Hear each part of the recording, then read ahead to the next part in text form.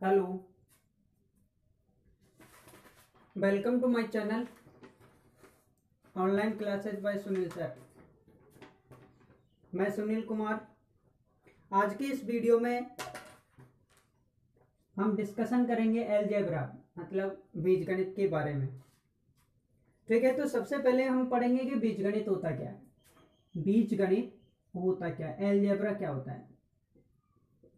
तो बीजगणित में जो कुछ संख्याओं का, कुछ अज्ञात होते हैं एक्स वाई या जो भी ए बी सी डी आप ले सकते हो, अज्ञात का मान याद करते हैं इसमें समीकरण के द्वारा। तो उसे बोलते हैं हम बीजगणित या एलजेब्रा। सबसे पहले तो हम एलजेब्रा में बात करेंगे कि इनके जो धनात्मक तथा ऋणात्मक चिन्हों के बारे में। धनात्मक, ऋणात्मक चिन्हों के जो बारे में हम बात करेंगे तो सबसे पहले पहला टॉपिक है इसका, धनात्मक तथा ऋणात्मक।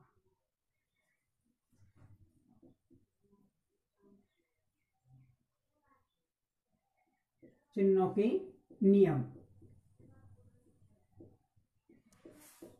हम सबसे पहले बात करेंगे प्लस को गुणा करेंगे प्लस से। तो आएगा यहाँ पे प्लस। उसके बाद हम दूसरे की बात करेंगे दूसरे नियम के बारे में। तो माइनस को जब मैं माइनस से गुणा करूँगा तो क्या आता है? माइनस। प्लस को मैं प्लस से गुणा करूँगा तो प्लस आएगा और माइनस को जब मैं माइनस से गुणा करूँगा तो माइनस आएगा। तीसरे नियम के बारे में बात करता हूँ कि प्लस को गुणा जब मैं माइनस से करूँगा तो यहाँ पे आएगा माइनस। अच्छा माइनस को मैं माइनस से गुणा किया तो कितना हो प्लस आता है। माइनस को माइनस से गुणा करूँगा तो क्या आता है? प्लस आता है और प्लस को प्लस से गुणा करूँगा, प्लस आएगा। प्लस को माइनस से गुणा करूँगा, माइनस आ जाएगा।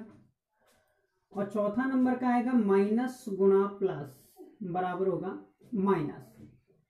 इसी प्रकार से हम देखते हैं भाग के बारे में। जैसे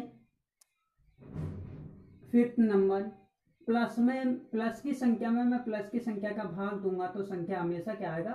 प्लस में आएगा। छठा। माइनस मैं माइनस का भाग दूँगा तो यहाँ पे आएगा प्लस। माइनस में जब मैं माइनस का भाग दूँगा तो क्या आएगा? प्लस आएगा। इसके बाद सातवां है नियम। प्लस में भा, मैं भाग दूँगा माइनस का तो यहाँ पे आएगा माइनस और आठवां नियम है इसका। माइनस में भाग दूँगा मैं प्लस की संख्या का तो रिजल्टेंट आएगा माइनस। ये क्या हो गए? धनात्मक तथा ऋणात्मक चिन्हों के नियम हो गए। क्या हो गए? धनात्मक तथा ऋणात्मक चिन्हों के नियम। अब हम बात करते हैं इसके बाद घातांक के नियम के बारे में। घातांक का नियम। घातांक नियम। ठीक है? तो घातांक नियम क्या होता है? घातांक नियम में कोई भी संख्या दी हुई, कोई भी आधार दिया हुआ है। ए की घात एन बराबर एक्स यहाँ पे ए ए हमेशा क्या होता है? आधार। ए बराबर क्या होगा यहाँ पे? आधार। एन क्या है इसकी? घात। तो एन बराबर हो जाएगा घात।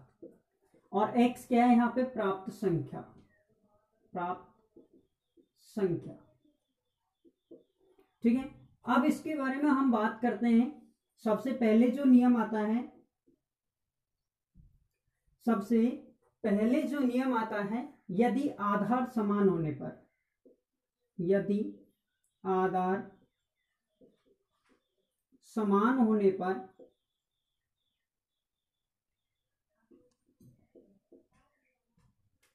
आधार समान होने पर घातों को जोड़ देते हैं।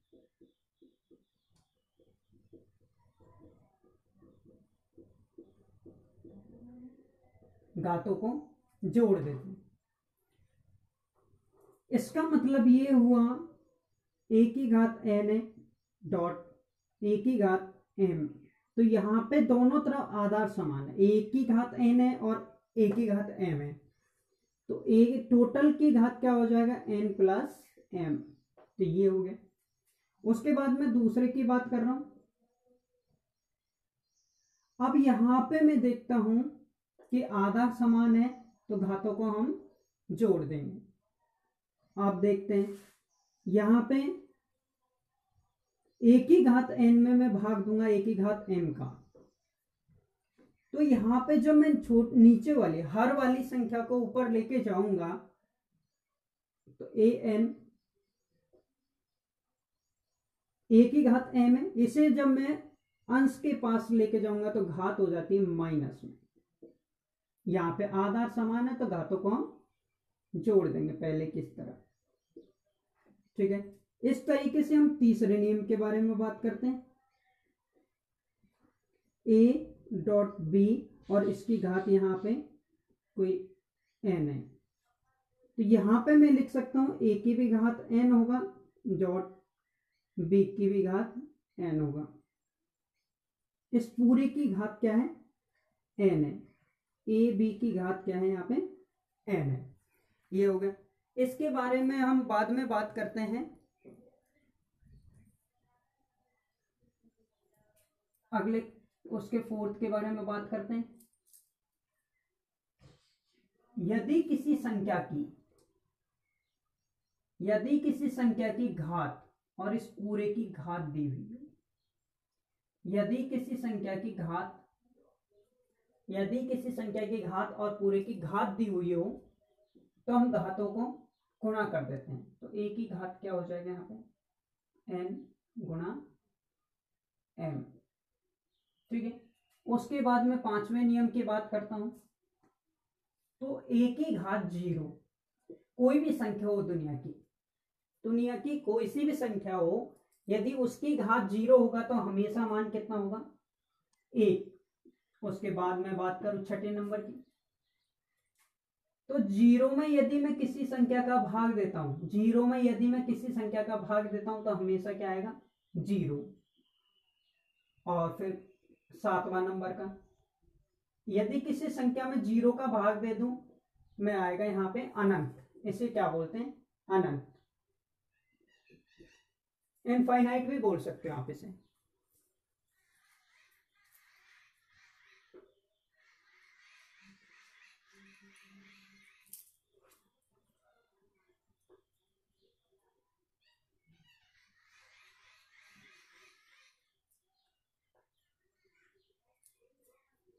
ये इसके सारे नियम हो गए। फिर से मैं बोल देता हूँ, एक बार यदि आधार समान होने पर घातों को जोड़ देते हैं तो यहाँ पे एक ही घात एन है गुणा एक ही घात एम है तो बराबर क्या हो जाएगा? एक ही घात एन प्लस एम दूसरा एक ही घात एन बटे में एक ही घात एम तो ऊपर लेके जाएँगे माइनस हो जाएगा, और आधार समान है तो घातों को जोड़ देंगे। यहाँ पे हम ए गुणा बी तो ए को गुणा करेंगे हम, कोई संख्या आ जाएगी ए की घात क्या हो जाएगा? एन हो जाएगा। यदि किसी संख्या की घात तो ए की घात एन है और इस पूरी की घात एम है तो दोनों घातों को गुणा कर देंगे। किसी संख्या की यदि घात शून्य हो तो हमेशा मान एक होता है। ज़ीरो बटे ए तो इसका मान ज़ीरो होगा। ज़ीरो में यदि किसी भी संख्या का हम भाग दें, जैसे हम कोई भी देख सकते हैं